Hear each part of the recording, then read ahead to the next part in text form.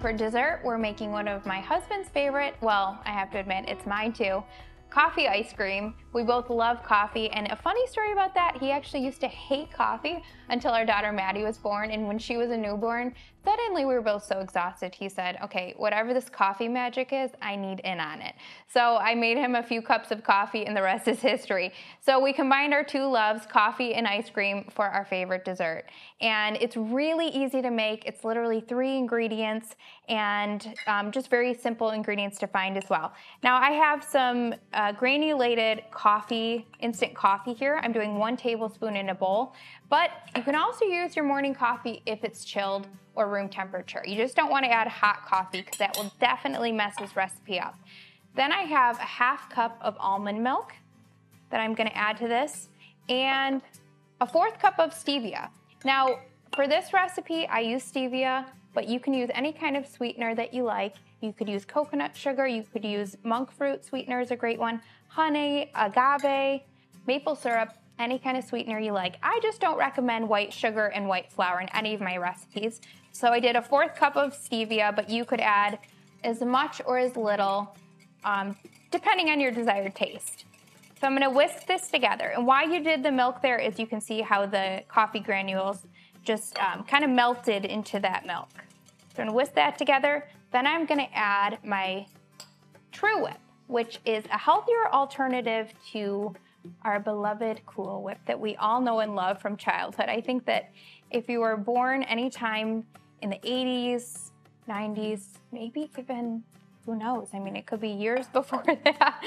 but I was born in the 80s, so that's how I know about Cool Whip. Um, cool Whip was like the thing. You did, you added Cool Whip in every single dessert.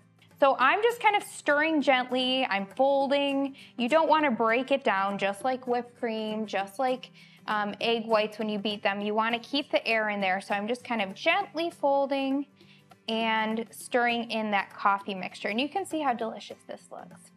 If you like coffee and you like ice cream, this is a must make. And you can see how quick it was too.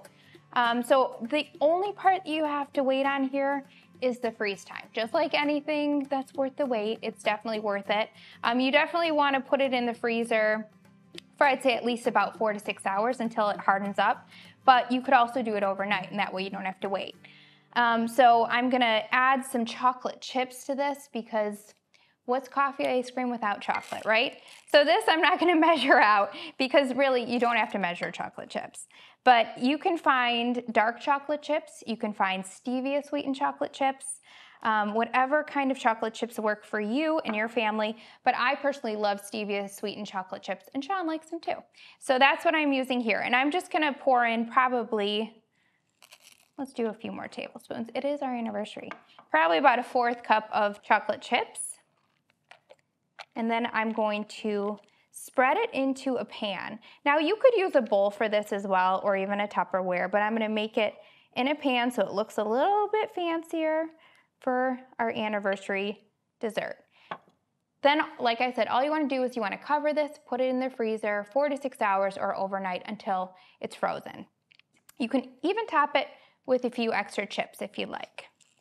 And Sean and I, one of our favorite things to do for our date nights is get ice cream out. So instead we're having ice cream at home and it'll be the perfect way to end our celebration together.